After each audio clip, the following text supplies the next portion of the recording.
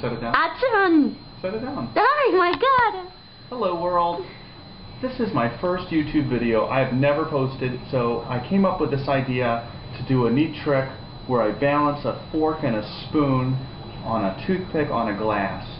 And I looked on YouTube and people had already done it. So, but no one had done two forks and two spoons on a glass. So to practice posting my video, I'm going to do that.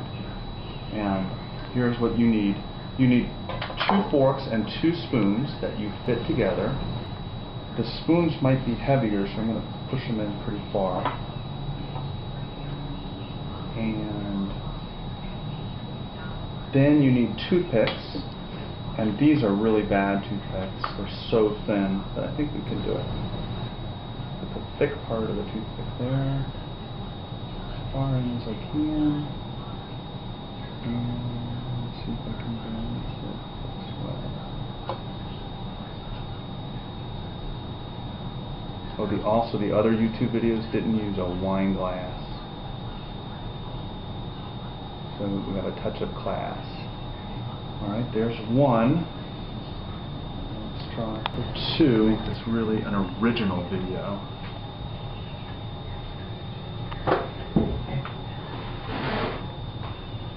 My beautiful wife Monica is helping me with my first video.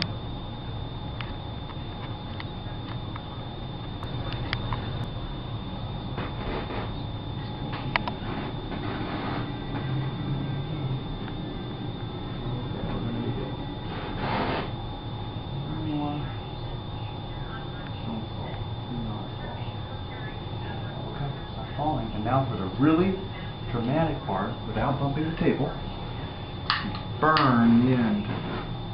It goes, the physics for this, I don't really know. I think it's the centroid or the center of gravity. But we're destroying the wood before.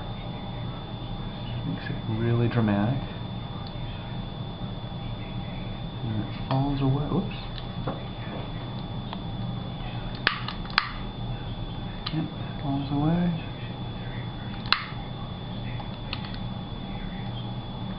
There you have it. Two spoons and two forks balanced on a toothpick. Go all around it, Monica. Uh-huh.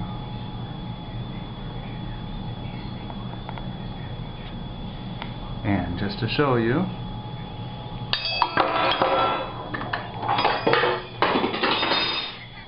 thank you.